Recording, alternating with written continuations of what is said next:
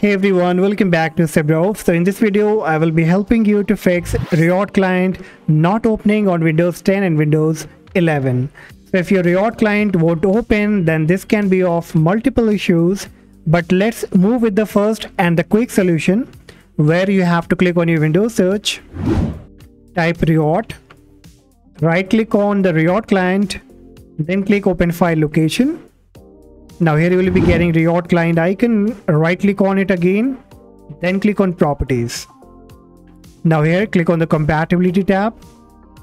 In the compatibility mode, check this option, run this program. And from the drop down, choose Windows 8. Then below, check the option of disable full screen optimization and run this program as an administrator. Then you have to click on apply, then click on OK.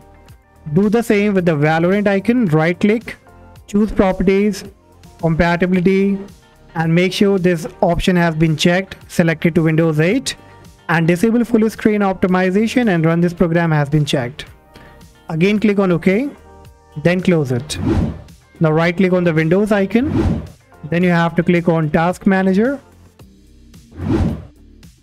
Now here you have to look for Riot client or Valorant if you find any file related to Riot client or Valorant, then you have to close it. After looking from here, you can also look in the details tab and just assure that there should be no file related to Riot and Valorant. So what I mean that the Riot and the Valorant should be completely closed.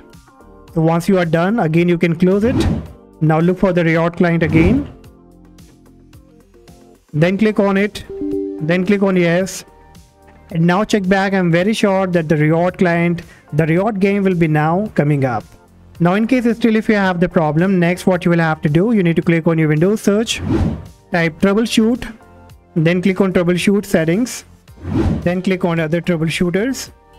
Now here scroll down and you will find program compatibility troubleshooter. You have to click on run. Then here from the program you have to select Riot. So keep scrolling down until you find the Riot client. Once you get it, you have to select it, then click on next.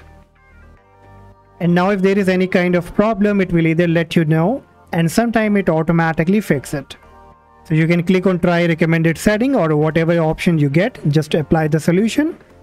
And then next you also need to make sure that your Windows is up to date. So click on Windows Update from the left hand menu option only. Now here you can see the updates are available. So you have to click on download and download and install all the update available on your Windows 10 or Windows 11. So once it's been done, again, you can check back. And additionally, I would also recommend that kindly go ahead and check that your graphic drivers are up to date. So right click on the Windows icon, then from the suggestion, click on device manager. In the device manager, you have to look for display adapter, double click on it. Then it will display whichever graphic card you are using. You can make a right click on it choose update a driver then click search automatically for drivers. And if there are update available it will automatically update it. And if it's already been updated then you also it will let you know. Now you can close it. Now in case after applying all these solutions still if you have the problem then probably there is some kind of antivirus that is creating a problem. So what you can do you can temporarily disable any kind of antivirus you're using. So if you're using any third-party antivirus, you can click on the drop down at the right-hand corner in the system tray. Then look for the antivirus icon, right-click on it and choose quit. Once it's been closed, you can check back again. And in case if you're using the Windows security, then you can click on your Windows search, type virus, click virus and threat protection then here in the virus and threat protection setting, you have to click on manage settings and disable the real-time protection here. Now, once it's been disabled, now you will have to restart the computer and check back. I'm very sure that the Riot client will now be coming up without any problem. So that was the complete list of solution guys and hopefully one of them will surely work for you. And if yes, do not forget to like and subscribe for any question. Let me know in the comment section. Till then, take care. Bye bye.